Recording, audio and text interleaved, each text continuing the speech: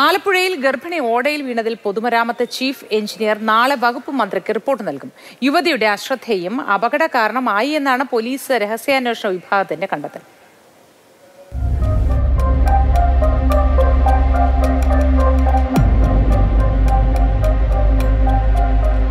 നിർമ്മാണം നടക്കുന്ന ഇന്ദിരാ ജംഗ്ഷൻ ചാത്തനാട് റോഡിന്റെ ഓടയിൽ കഴിഞ്ഞ ബുധനാഴ്ച വൈകുന്നേരമാണ് ഗർഭിണി വീണത്.